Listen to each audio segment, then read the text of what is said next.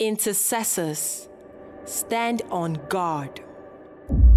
In the map of Nigeria, I saw a large red dot which affected the whole nation. I saw energy being emitted from the red dot. The energy was like a circular light, and it seemed to be a sort of force field or shield over the place. The purpose of this red dot was to protect the country from further attacks and this was also the redemption of the country. The red dot was a symbol of intercession. I heard that we should always put Nigeria in prayers because each time we do so, we shield the country from further attacks. The shield has to be put up as often as possible so that the country can be shielded from the effects of evil speaking and bad prayers.